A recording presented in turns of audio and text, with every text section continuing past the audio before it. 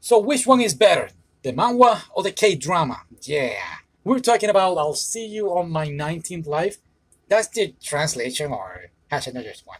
I guess on my 19th life, take care of me, or see you on my 19th. I don't know. You know, that's the problem with translation sometimes. But it doesn't matter. Yeah, we did a little experiment. I read first the manhwa and then saw the K-drama. While Ducky, I saw first the K-drama and then read the manhwa. So which one do you like?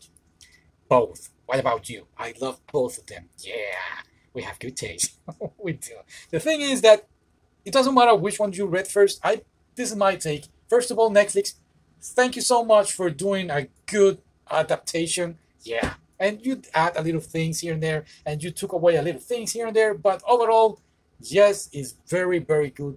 Both of them. I think that whatever the manhwa was missing, Netflix put a little extra here and there. Yeah, and whatever the Netflix adaptation was missing, you can go ahead and it's right there in the manhwa. Although they did change the bad guy for a moment. They got you confused there. Yeah, so do I. no, wait, because I thought that the bad guy, well, the bad guy is the bad guy, yeah. But in the Netflix drama, there is a bad girl, bad woman. Not like Batman, though. Bat, B-A-D. That is not in the manga. Well, they, yeah, this, this for that. I mean, the manga came out first, 114 episodes plus one that the author actually wrote her, her, her thoughts. And they always do that. They change a little things here and there, not uh, just to confuse people or having a little more excitement. And what I really like about the Netflix drama, the K drama, is that we were able to see their feelings a little more deeper on the characters. Yeah. But what is it about? Well, See You in My 19th Life is about this girl, or we can say this person, that sadly, and I say sadly, remembers um, the whole 19th life before, or 18th life before the, the 19th. That is, that is crazy.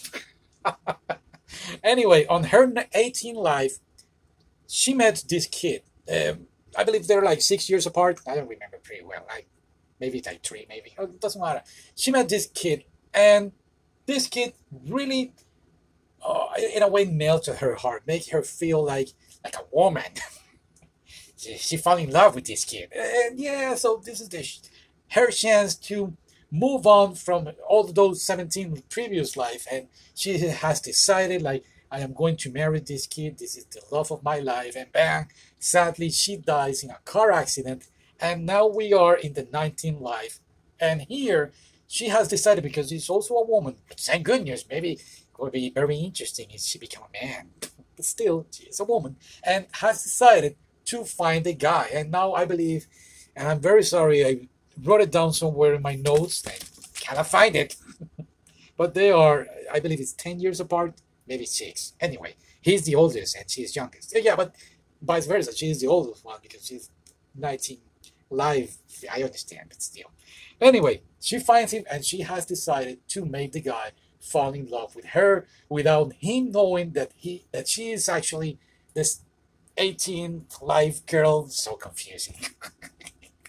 he cannot even explain it. I'm going to do it. Okay, go ahead.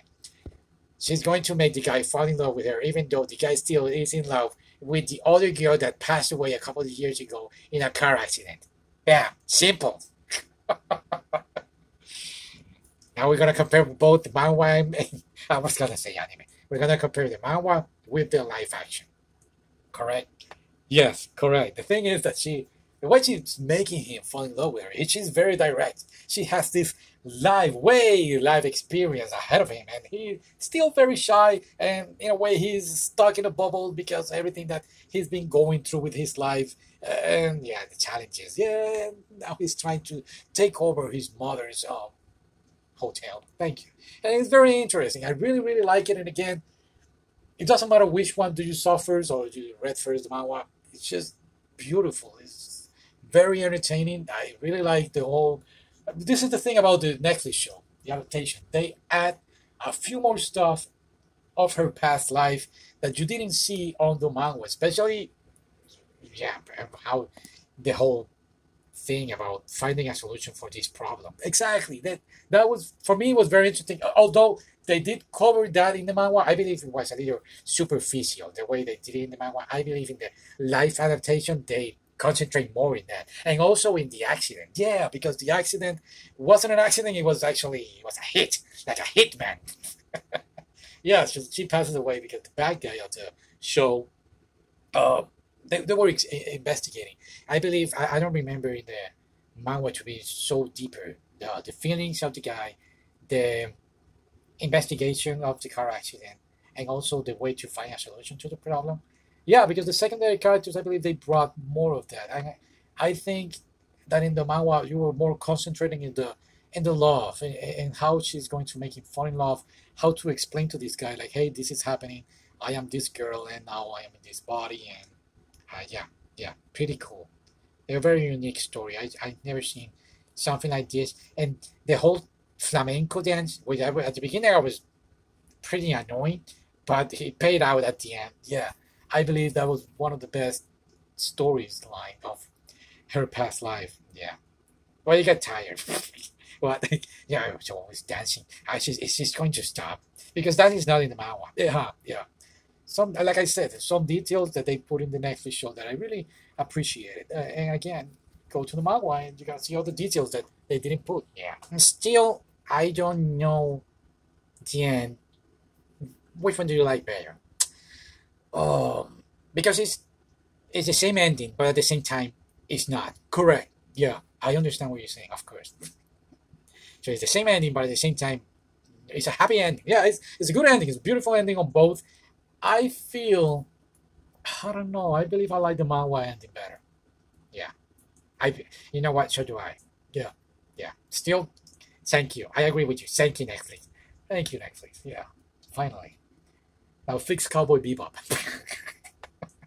I was supposed to say that. I I just saw it. he cut my line.